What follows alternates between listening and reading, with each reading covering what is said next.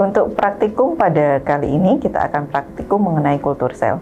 Kultur sel adalah pengambilan sel dari jaringan maupun organ dari tumbuhan maupun hewan. Kemudian kita tempatkan pada lingkungan yang kondusif agar dapat tumbuh dengan baik. Nah, untuk jenis kultur itu sendiri ada primary cell culture, kemudian secondary cell culture maupun continuous cell culture. Pada kesempatan kali ini kita akan melakukan kultur sel dari fibroblast yang kita ambil dari jaringan punggung tikus.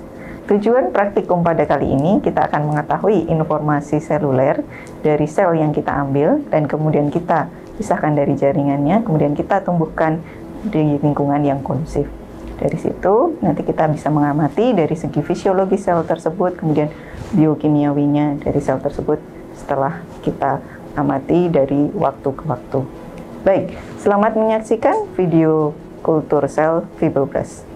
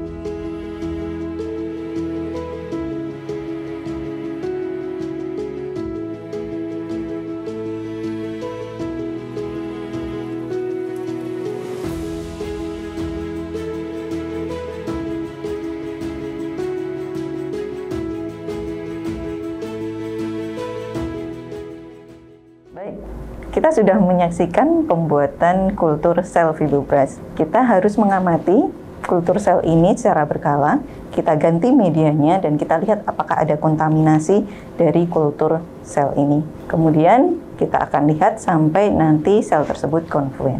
Baik, terima kasih sudah menyaksikan video pembelajaran kultur sel fibroblas. Sampai bertemu pada video pembelajaran berikutnya.